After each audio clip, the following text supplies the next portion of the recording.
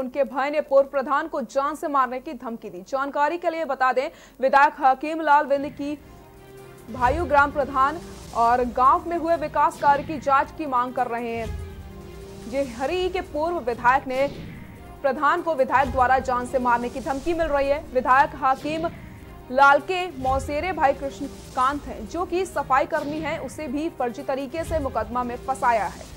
इसका आरोप खुद कृष्णकांत ने लगाया है।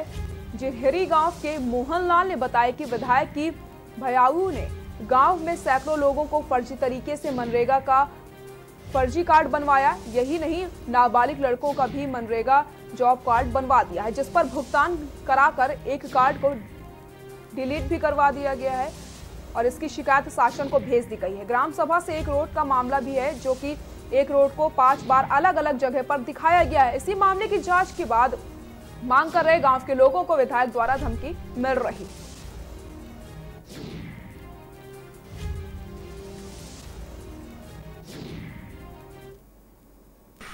कि भाई, जाँच पड़ताल का मोहनलाल हमारे हैं, हम लोग के साथ फ़ाइल में हैं, क्लियर। तो जब हम लोग साथ चलते हैं तो हम लोग को मारने के विधायक का भाई विधायक, और अभी अभी अभी सूचना मिली, कुछ व्हाट्सएप गया है तो उसमें कहे हैं कि अगर जब किया गया है तो अब एक एक जन के गाँव को चमड़ी में खोल लूँगा चले समाज हम लोग। कौन विधायक हैं? हाकिम लाल।